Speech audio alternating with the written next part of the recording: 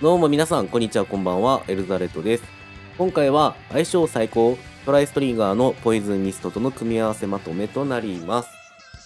トライストリンガーを使っていると、メインだけでは対処が難しいシーンというのがたくさんあります。全員一角で仕留めればいいですが、盤面や試合の状況によって安心して狙えることは多くないと思います。そんな時に活用したいのがポイズンミストになるわけですね。そこで今回はポイズンミストのメリットとメインとの組み合わせなど活用方法をまとめていきたいと思います。動画を見てチャンネルを応援してくれる方はチャンネル登録と高評価をぜひお願いします。それでは早速解説していきたいと思います。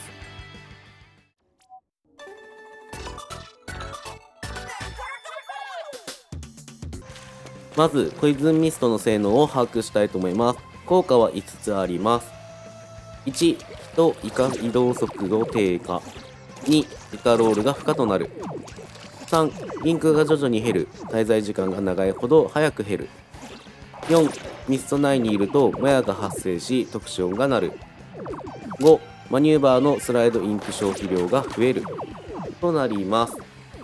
前作から効果はそのままの部分が多いですが、新しくイカロールの制限がついた感じとなります。その他には、ポイズンミストの霧発生時間は約5秒ほどとなっており、一時的にですが、ポジションを制圧することができます。トライストリンガーの爆発やの爆発時間は、だいたい45フレーム0.750秒となっているため、ポイズンの方が圧倒的に場所を取れると思います。まあ、ただダメージはないというところですね。ま、ダメージ発生しないので、味方と連携を取ったり、一時的な場所取りで使用するのがいいかと思います。攻撃はできないものの制限をかけることができるサブなので、その点をうまくメインの武器と組み合わせれば強くなるサブだと思います。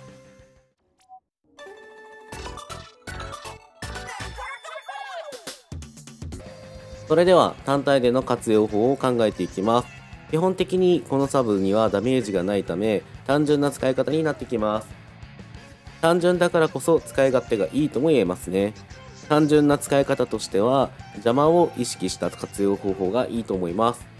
では単体でできる邪魔についてまとめていきます。まずは場所を潰すという方法です。基本的には後衛がいるポジションなどですね。またそれだけでなく相手の移動ルートに投げるのも有効です。ただ投げるだけだと思いますが、5秒ほど場所を潰せます。トリンガーのメインは1秒ほどしか設置できませんので、単純に5倍の効力があるわけです。ダメージがない分頼りなさそうですが、相手の動きを止めるには十分ですね。あとは味方が戦っているところに投げるというのもいいかと思います。逃げ場をなくしつつ視界も奪うのに有効です。ただ、今回はトライストリンガーでの視点で考えると、あまり有効な使い方ではない気がします。メインの精度が高ければ倒せる可能性も高いので、まあメインを使う方がいいかなと思います。なんなら、インク消費量を抑えれるので、まあ、そういった面でも、まあ、敵が混戦しているところにサブを投げるというのは難しいかなと思いますね。メインに自信がない場合はありだと思います。あとは逃げる際ですね、足元に投げておくというのが有効かと思います。敵が追いかけづらいという点ですね。攻撃的に使うというよりも邪魔に使うというのがしっくりくるサブなので、相手の裏をかくことが重要なことかと思います。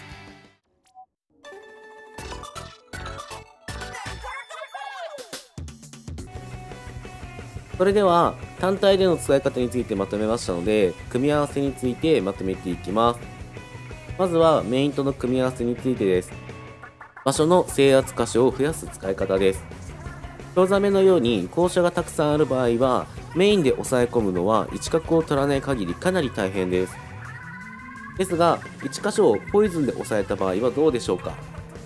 他の場所に対してメインの圧をかけ続けれるので、キルを取れる可能性が上がりますよね。要は、2箇所の制圧ができるということが可能になるわけです。メインだけだと交互に打ったとしても時間が足りませんからね。ですが、メインとサブを組み合わせることによって、1人で複数のポジションの制圧ができるわけです。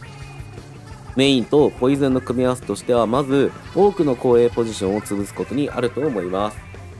そして攻撃的に使うとしたら、1.5チャージの射程内でポイズンを当てる方法になります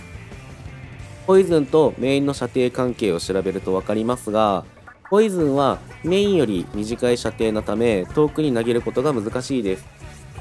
そのため1角よりも1.5チャージで爆発矢を当てた方が足場も取りやすく連射も可能なので倒しやすくなります。ただこの使い方はあくまで狙って倒すのではなくたまたま近い敵に対して使うのが有効な方法だと思います。ある程度有利にポジションが取れてなければ相手の攻撃を受けてしまうので攻めとして使うのは難しいんですよね。そして最後はメガホンとポイズンの組み合わせです。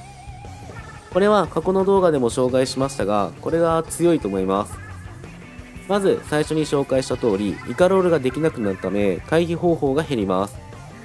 また移動速度も落ちるためメガホンが追いつきやすくなります。立体的な動きを制限しながら攻撃できるのはかなりでかいと思いますね。またキルができなかったとしてもポイズンとメガホンで大体敵の動く先がわかるのでメインでの邪魔もできます。場所の誘導というわけではないですが一時的にポジションを取ったり時間稼ぎができるいい組み合わせになりますということで今回の組み合わせとしてはこんな感じですまあ、一般的によく使われる方法ですね。ただトラストなりに使うとこの3つが重点的になるのではないかと思います。はい。ということで、今回ここまでとなります。相性最高。トライストリンガーのポイズンミストとの組み合わせまとめはいかがでしたでしょうか？今回はサブウェポンであるポイズンミストについてまとめましたが、使いどころが難しいサブと思っています。インクロック時間が長い上にサブの距離もちょっと短いので人によっては使いづらいものだと思います。ですが使い方が分かればメイン以外で相手の邪魔をすることが可能なので押さえておくには重要なことだと思います。ということでご視聴ありがとうございました。チャンネルを応援してくれる方はチャンネル登録と高評価をお願いします。それではまた次回お会いしましょう。バイバイ。